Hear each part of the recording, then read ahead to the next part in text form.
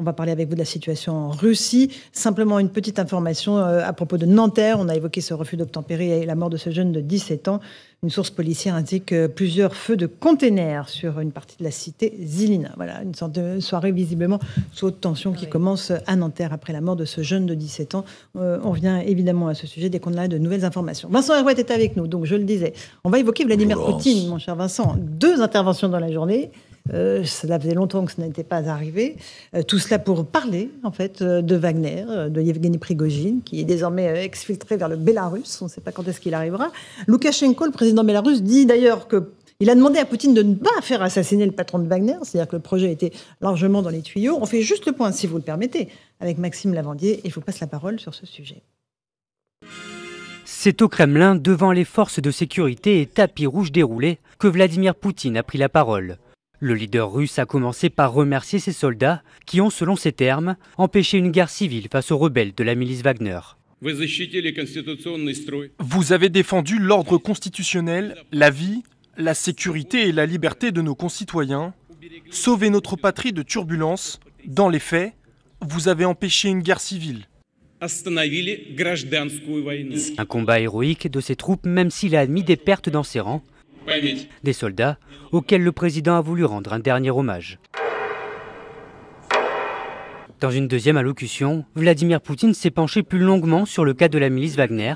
Il indique qu'elle est financée entièrement par l'État russe. Je tiens à ce que vous le sachiez tous. Le soutien à l'ensemble du groupe Wagner a été entièrement assuré par l'État. Rien que de mai 2022 à mai 2023, l'État a versé à Wagner près d'un milliard d'euros pour la maintenance et les paiements incitatifs. Si le Kremlin a confirmé la levée de l'enquête sur Evgeny Prigogine, le chef de la milice, mis à part un message audio, n'a pas été vu depuis la fin de sa rébellion. Vincent Herouet, pourquoi est-ce que Vladimir Poutine euh, décrit avec tant de précision face aux Russes le fait que ça lui a coûté extrêmement cher d'entretenir Wagner, un milliard d'euros par an, dit-il euh, C'est pour le décrédibiliser? C'est paradoxal cette, cette revendication, d'autant que, en fait, la, traduction véritable, c'est qu'il dit euh, on va vérifier qu'il, que rien n'a été volé ou peu volé. Peu volé. ce, qui, ce qui est admirable dans un pays qui est quand même extrêmement corrompu, c'est vrai, qui le reste, même si des efforts ont été faits. Alors, euh, ce qui est important dans ce qu'on vient de voir, c'est, c'est le décor, en fait. C'est, il parle dans cette espèce de, décor écrasant, de funérarium euh, solennel, très, soviétique de forme. C'est l'État, il a besoin de se montrer, il a besoin de s'exhiber. On est dans une guerre très, curieuse, où les acteurs sont à la fois très dissimulés, pour pas dire vicieux, c'est du billard à 3-4 bandes à chaque fois, mhm. et en même temps, donc très, très secret, très dissimulé, et en même temps très exhibé. Que ce soit Zelensky, que ce soit Prigogine, ce sont des gens qui n'arrête pas de se mettre en scène. Et Poutine est un peu euh, old-fashioned, il est un peu, il est un peu vieillot par rapport à, par rapport à ces deux, euh, ces deux créatures euh, qui ont une sorte de génie du marketing politique. Mais bon, lui, il s'appuie sur l'État, et donc on a eu cette, ces deux prises de parole aujourd'hui. Et sur le fond, qu'est-ce qu'il dit? Ben, Il dit on a évité de faire couler le sang russe, c'est Louis XVI hein, qui, qui, revendique sa faiblesse, et en même temps qui rend hommage à l'armée. C'est l'armée qui nous a sauvés.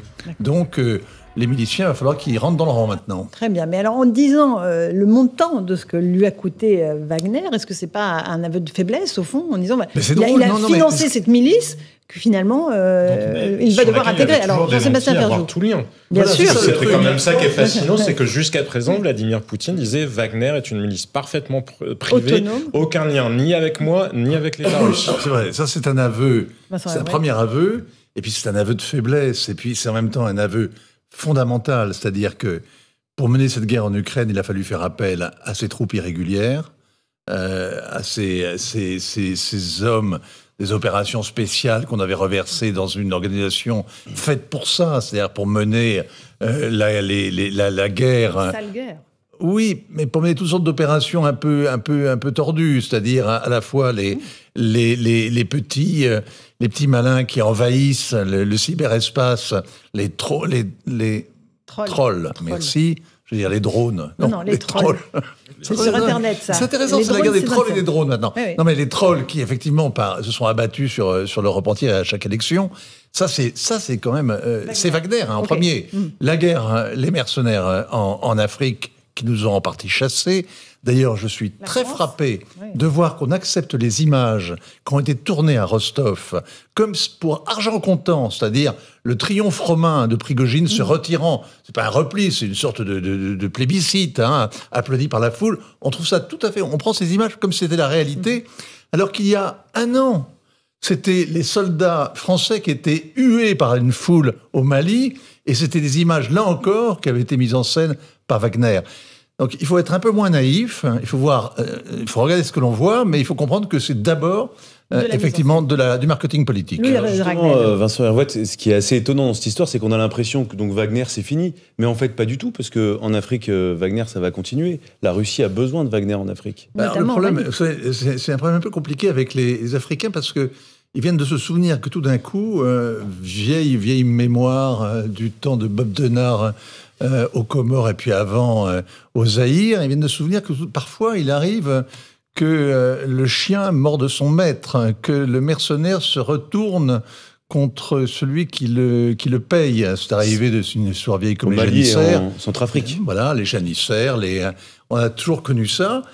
Et ce qui vient de se passer, cette rébellion en, en Ukraine, secoue un peu tous ceux qui, notamment au Mali, ont des relations un peu qui deviennent un peu compliquées avec euh, ces forces de sécurité qui dépendent théoriquement de Moscou, mais dont le lien est de plus en plus lâche. En tout cas, ils vont continuer en Afrique, ça on n'y touche pas. Ils vont continuer, ils vont se regrouper en Biélorussie, ça non plus on n'y touche pas. D'accord. Et les autres, eh bien il faudra qu'ils rentrent dans le rang. C'est la grande géopolitique, ça Vincent. Non, la, il y a relation... 5-6 000 hommes importants qui vont faire la guerre en Ukraine. La relation Prigogine-Poutine, elle, est très intrigante. Euh, ils ne sont pas mariés. Ils ne sont pas mariés. On l'a appelé le cuisinier de Poutine. Ils étaient extrêmement proches. Euh, il y a quelque chose. Euh, non, pas proches. Donc vous dites qu'ils n'ont jamais été proches L'un bah, n'a pas pu agir sans le consentement de l'autre. On aime, les, on aime les bandes dessinées, donc on aime bien les légendes. Donc le cuistot de Poutine, le cuisinier, on a l'impression que le gars, il était vraiment derrière les fourneaux en train de tourner les, les, les hot dogs. Faut pas rigoler. C'est pas ça. Ils sont pas, ils sont jamais embrassés sur la bouche. Je veux dire, ils, ils avaient c'est un homme qui a été formé pendant. Ils sont tous les deux été éduqués dans les rues de Saint-Pétersbourg. Ils ont connu les, bagarres de rue. Ensuite, il y en a un qui a tourné vers les forces de sécurité, c'est Poutine. Et il y a l'autre qui s'est plutôt formé du côté du goulag, hein, dans les camps, hein, où il a été rééduqué sévèrement, dix ans. Et ça l'a endurci. Et ensuite, ils ont trouvé matière de s'associer. Mais bon, vous savez, l'amitié, d'abord, il n'y a pas beaucoup d'amis quand vous montez. Je sais pas, en altitude, l'oxygène se raréfie l'amitié aussi. Hein. Oui, oui, on est d'accord. Où il y a des intérêts communs, où il y a des intérêts divergents. Et là, ils ont divergé, les intérêts. Alors, pour des gens qui ne respectent que le rapport de force, si vous voulez, l'histoire est intéressante parce que Poutine s'appuie sur des forces irrégulières et ça lui revient comme un boomerang dans la figure euh, un an et demi après. Et doublement aujourd'hui. Parce qu'aujourd'hui, alors là, il y a toujours un fier à bras qui, euh, qui, qui, fait des siennes. Et aujourd'hui, c'est le Alexandre Loukachenko. Le président bélarusse. Génie ou laquais alors ah, C'est formidable. Génie ou laquais c'est le moujik de service, c'est l'ancien patron de Kolkhoz. C'est le type qui, il y a trois ans, aurait dû être renversé par la, par la révolte. Euh, en... Et d'ailleurs, il y a eu un moment d'hésitation au Kremlin où, visiblement, ils se sont dit, mais après tout, euh, ce, Loukachenko, il n'arrêtait pas d'essayer de faire l'indépendant, de jouer l'indépendant, de s'affranchir. Et si on le laissait tomber et qu'on mettait un homme à nous Et puis finalement, il l'a repêché. L'autre était à plat ventre et totalement servile. Et maintenant, aujourd'hui, non seulement on lui a filé un rôle de médiateur, mais alors il en abuse et devant les siens, il a expliqué qu'il avait donc conseillé à Poutine de ne pas assassiner euh, Prigogine, ou du moins pas tout de suite. La double ration de polonium attendra. Et puis il lui a dit aussi, euh, nous avons été débordés. Il parle d'un nous de majesté quand il parle de ce qui s'est passé avec Prigogine, dit on a mal géré ça, comme s'il était associé, comme s'il était associé à la direction. Alors Vincent, ou Jean-Sébastien peut-être. quasiment 20 ans qu'il a signé un traité d'union avec la Russie et qu'il a réussi à ce qu'il ne soit jamais mis en œuvre en jouant à l'idiot du village. Mais Loukachenko, vous vous souvenez au début de l'invasion aussi, il avait dit non, non, euh, pas depuis la Biélorussie, etc., en se débrouillant pour que derrière lui, il y ait les plans de l'intervention russe depuis la Biélorussie. Il joue toujours, comme si c'était une gaffe, à l'imbécile et il tire toujours, toujours son épingle règles du Est-ce jeu. que Vladimir Poutine a l'intention de faire assassiner Prigogine Loukachenko, dont on parle à l'instant, dit qu'il a demandé à Poutine de ne pas le faire assassiner.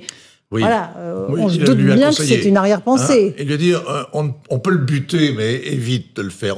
La première fois, non. La deuxième fois, on verra, mais bon. D'accord. C'est- une tradition. C'est c'est ce qu'il dit à son, c'est ce qu'il dit à son entourage et qui est retransmis par la chaîne Telegram liée à la présidence euh, biélorusse. Alors là, on est vraiment dans une sorte de, de, de- de feuilleton. Il aime beaucoup les feuilletons américains. Loukachenko euh, Loukachenko, il adore ça. Il regarde les séries. Il a trop vu euh, les, les séries mafieuses euh, et, et vraiment, il reprend à la fois le discours puis en même temps, c'est une sorte de concours de virilité. Depuis 48 heures, depuis la fin à laquelle on ne comprend rien, parce que le cœur quand même, le, le cœur de l'affaire, c'est quand même ça, c'est que dire qu'on ne connaît pas, on ne sait pas très bien pourquoi Prigogine est parti à l'assaut, et on ne sait surtout pas du tout les termes De du- l'accord. de l'arrangement, de Mhm. l'arrangement qu'ils ont négocié. Donc, il y a une partie véritablement énigmatique. Mais en tout cas, ce qu'on peut- ce qu'on voit aujourd'hui, c'est que euh, Poutine s'est appuyé sur deux subalternes douteux, Voilà. sur deux Donc Prigogine. qui aujourd'hui lui font payer ça très cher. Mais la vie de Prigogine est menacée. Donc, si le président Loukachenko demande à Poutine euh, publiquement de ne pas l'assassiner. euh, en Sicile, on dit, euh, il y a un proverbe qui dit euh, la vie c'est comme un bouton sur la veste. Eh ben, la vie de Prigogine, à mon avis, elle est effectivement un peu fragile. Il est un peu. Il doit mal dormir la nuit, ce gars-là. Bon, euh, en tout cas, Jean-Sébastien Ferjou. chose qui, je trouve, assez frappant, puisque Vladimir Poutine a multiplié les interventions. À aucun moment, il n'a commenté ce qui était quand même. on ne sait pas si c'est pour ça que Prigogine est intervenu, mais en tout cas, il a porté ce discours-là, parce que lui, il n'a pas parlé de mutinerie, mais de marche pour la justice, en disant la guerre n'est ni, enfin, c'est ni fait ni à faire, c'est mal géré, les soldats ne, ne sont pas protégés, n'ont pas les bons armements, pas les bonnes euh, munitions. Vladimir Poutine, à aucun moment, ne s'est prononcé justement sur ce cœur Cette guerre est à la fois infondée et malmenée. Il a totalement zappé ça en ne retenant non. que la marche. Mais bien sûr que c'est son intérêt de le faire. En revanche, ça a été mis dans le débat public russe quand même. Et, Oui, mais euh, non, mais la réponse de la réponse de Poutine elle est cet après-midi hein, avec euh, cette cette espèce de petite prise de d'armes là. euh, magnifique, c'est-à-dire qu'il dit à l'armée vous avez sauvé la nation. Et l'armée de son côté commence à dire oui il y a des âmes perdues il y a des soldats qui se sont égarés mais ils ont on ne leur en voudra pas leur patriotisme les sauve. Ils pourront réintégrer aujourd'hui qu'il y a 5 à 6 000 hommes qui sont aguerris hein, dans dans Wagner. Il y a les repris de justice il y a la il y a la la Valtaille qui sert de chair à canon, mais il y a aussi 5 à 6 000 professionnels euh, qui sont d'anciens officiers ou d'anciens sous-officiers. Il n'y a pas de sous-officiers, mais d'anciens soldats, en tout cas euh, des vétérans euh, de l'armée russe, qui doivent, qui ont à choisir soit de réintégrer des régiments, soit de partir en exil ou, de, ou carrément partir dans le civil. Mais il y a la volonté quand même de les réintégrer. Et on dit, mais ces âmes perdues, il y avait sûrement l'Occident derrière pour les manipuler. Et ça, c'est quand même la grande idée. Et d'ailleurs, c'est peut-être pas totalement faux, puisque, puisque euh, les services américains prétendent avoir su qu'un jour à l'avance ce qui allait se passer, et on a toute raison de les croire, puisque après tout, ils étaient les seuls contre tous les spécialistes à annoncer la guerre. en Ukraine. On va juste écouter, si vous voulez, euh. Louis de Ragnel. D'abord, Catherine. Colonna, la ministre des Affaires étrangères, euh, qui donne la, la vision de la France de cette affaire dont on ne connaît pas vraiment les, les tenants et les aboutissants. Elle estime en tout cas que ça montre les failles russes. Écoutez-la. Ces événements euh, du week-end recèlent de nombreuses zones d'ombre et sans doute leurs conséquences n'ont-elles pas fini de se faire sentir. Mais ils ont, à l'évidence, mis euh, en lumière euh, des fissures, des fractures et même, j'ai déjà utilisé l'expression, des failles au sein du système russe. Et celles-ci sont très largement dues à la guerre que fait la Russie à l'Ukraine. Alors d'abord, je le répète, nous n'avons en rien l'intention de nous émisser dans ce qui est une affaire intérieure russe. Mais notre responsabilité, notre responsabilité reste plus que jamais de continuer d'être extrêmement vigilants et de continuer à aider l'Ukraine à se défendre. Vigilance et aide qui sont plus que jamais nécessaires dans ce moment d'instabilité nouvelle, instabilité qui est causée par la Russie et dont elle-même commence à voir les conséquences sur elle-même. Vincent Herouet, on entend la ministre des Affaires étrangères qui dit on continuera à soutenir l'Ukraine. Évidemment. Ça, ça, ça va sans dire. Ça va Mais sans le- dire. le- Mais- En fait, la- la- la- La question, c'est est-ce que ça avantage l'Ukraine ce qui s'est passé en Russie ou pas? En rien sur le terrain pour l'instant. Bah, a priori, ils n'ont pas replié de troupes, semble-t-il. Moi, je peux vérifier ça, mais il semblerait qu'ils n'aient replié aucune troupe de la ligne de front, donc euh, ils n'ont pas fragilisé leur défense. Mais c'est vrai que c'est l'issue hein, de, cette, cette, épreuve de force en Ukraine qui décidera du sort de Poutine et de Prigogine au bout du compte. Ce qui est intéressant quand même dans la... On sent à quel point Catherine Colonna est, est, retenue. Hein. Elle, elle, garde pour elle ce qu'elle sait, hein, ce que les services de renseignement savent. Euh, mais euh, on sent bien que côté occidental, tout le monde a soudain, soudain mesuré à la fois la fragilité du régime et le risque que représentait. Euh, au moins, Poutine, c'est un vieux diable, mais on le connaît depuis le temps qu'on le fréquente. Et il vaut mieux avoir un vieux diable que d'en avoir de nouveaux, beaucoup plus féroces et qu'on ne connaît pas.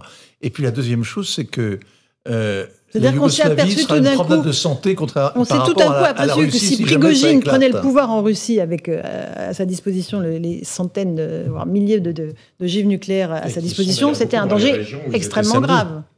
Oui, sauf que bon, ils sont pas disponibles comme ça. Hein. C'est, on c'est, pas, pas euh, open bar hein, avec les, les, Non, je veux dire, il n'y a pas eu de menace, il n'y a pas eu de risque, mais évidemment, ce qui pose, après tout l'éclatement de la Russie en, 27 euh, républiques qui se dévoreraient ça réjouirait les Polonais et ça n'inquiéterait personne s'il n'y avait, avait pas cet arsenal nucléaire. Oui, bien sûr, on ne peut pas se permettre de, de, faire un pari comme ça hypothétique sur l'avenir, mhm. parce que ce qu'on a vu, et ce qui est extraordinaire, hein, il faut mesurer ça, c'est que Prigogine, le boucher Prigogine, le voyou, cet homme qu'on nous présentait comme l'abomination, vraiment le, mal incarné, hein, avec euh, ses, sbires assassinant à la masse les, hommes qui avaient trahi et se mettant en scène. Prigogine, il a reçu le soutien ce week-end de Khodorkovsky. Vous savez, vous rappelez l'oligarque qui, qui, a été condamné en, Sibérie et qui maintenant vit en Suisse. Khodorkovsky s'est rallié à Prigogine. Navalny, le hmm. prisonnier qui est une sorte de masque de fer, qui est le prisonnier du, du Kremlin, qui est soumis à, héroïquement. Il vient de déclarer que Poutine est une menace pour la Russie. Oui, ça, l'Europe aussi a dit ça aujourd'hui. Mais bon, l'Allemagne a dit ça aujourd'hui. Mais les deux hommes, ces deux hommes-là, se sont ralliés à Prigogine. C'est pour des questions de circonstances. Parce qu'on sait bien que Navalny n'a aucune sympathie objective pour euh, M. Prigogine. Non, mais oui, mais bon, sauf que vous avez bien conscience que c'est pas un démocrate qui va prendre le pouvoir ah si Poutine tombe. Hein. On est bien d'accord. C'est pas un libéral, social-démocrate. Euh, euh, pratiquant la parité, et avec un bilan économique. Non, ce sera un militaire, ce sera un homme de, de, la force. Euh, des organes, comme on dit là-bas. Dernier mot, Vincent, cet emballement médiatique tout le week-end. Euh, tout le monde s'est pris à penser que Vladimir Poutine pouvait tomber. Et ah, c'est formidable. Moi, j'adore. Il y a eu une espèce d'emballement. on ne sait rien. Donc, on part du principe qu'on ne sait pas grand-chose, que la Russie Mais on s'emballe. Est une énigme, etc., etc. Mais alors, les, variations de, la variation de température sur les plateaux, euh, le brouillard de la guerre s'abattant sur les bateaux fait dire à des gens tout et exactement son contraire une demi-heure après dans une. C'est vraiment la vérité de l'instant on, ne va pas critiquer les médias, on en vit, on en est, c'est un merveilleux boulot, etc. Mais franchement, sur, la, y a des franchement, sur la Russie, franchement, sur la Russie, il y a, c'est extraordinaire. On entend tout en même temps, et, et, par les mêmes. Des espions du KGB, il y a tout. Ceux qui parlaient de coup d'État, non mais après il y a eu le choix des mots. C'est-à-dire qu'à aucun moment il y a eu de coup d'État. Il n'y a pas de généraux qui ont fait défection. Euh, Prigogine était seul. Il y a eu tout au plus, oui, une mutinerie. une tentative. Mais il n'y a pas eu de coup d'État pas eu un, un, putsch, exactement. Mais, ce qui est formidable dans les médias, d'un mot, c'est que Prigogine, justement, c'était le boucher, avant-hier on le connaissait pas, et hier c'était le, le boucher libérateur de la Russie. Et, et, et hier c'était un homme d'affaires, l'homme d'affaires Prigogine. Et défenseur de la liberté. Sémantique. Des comptes pour Merci, enfants, mon Dieu, il ne faut pas leur lire. Télérama bientôt là Merci beaucoup, ça, on n'en doute pas. Ce soir, je vous signale que sur CNews, édition spéciale Ukraine, présentée par Julien Pasquet, à voir deux documentaires à 21h, Les soldats et l'information, suivi d'un débat. Et puis à 23h, des femmes dans la guerre. Voilà, c'est ce soir en direct sur CNews. Dans un instant, vous retrouvez sur Europe 1, Europe 1 Soir avec Raphaël Devolvé et Hélène Zélani. Et sur euh, CNews, Christine Kelly et ses invités pour Face à l'info. Bonne soirée à vous sur nos deux antennes. À demain.